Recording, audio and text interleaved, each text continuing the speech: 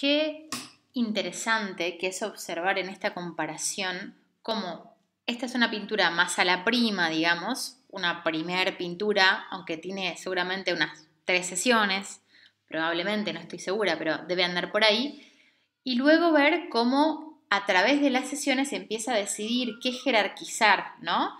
Porque acá no tiene una distinción de jerarquía tan clara, sin embargo hacia la derecha sí la tiene, ¿no? Y usa mucho más lija. Es una pintura más a la prima, más fresca al principio, y luego es una pintura más de capa sobre capa, de mucha decisión, aunque tiene un poco de dibujo libre, donde organiza las temperaturas, digamos, en la nariz o en el ojo, ¿no? Y esta idea de la boca abierta y los ojos o más cerrados o mucho más difusos.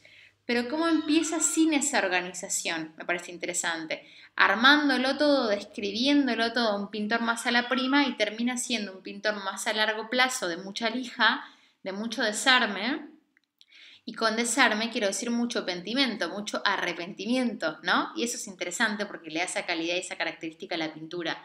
Otra cosa muy de Rodin, que es propio de Otnedrum, es trazar el cuerpo bien grande para sentirlo contrapicado, como visto de abajo, ¿no?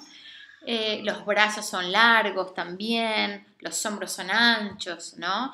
esa idea también está buena contemplarla en esta comparación. A mí me interesa pensar en un laburo como el de la derecha o en un trabajo o en una pintura más a largo plazo. Nótese que los pintores kitsch tienen como lema la idea de hacer una obra maestra, ¿no?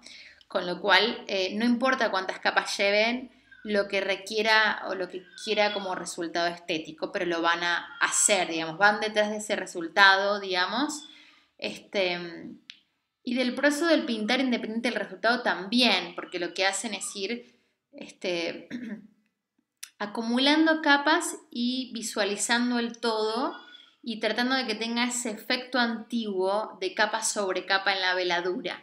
Pero también hay un disfrute del trabajo al natural y del oficio, ¿no? Entonces está bueno ver esta contraposición para reflexionar y pensar en cómo uno comienza a pintar, por ejemplo, en este caso William, y cómo luego va a un trabajo más, eh, mucho más definido. Es una pintura más nueva, es una pintura un poquito con no demasiada antigüedad, igual tiene un par de meses, pero es muy interesante ver cómo cambia del primer plantado en la resolución, siendo otra pintura, a una pintura de mayor cantidad de sesiones, ¿no?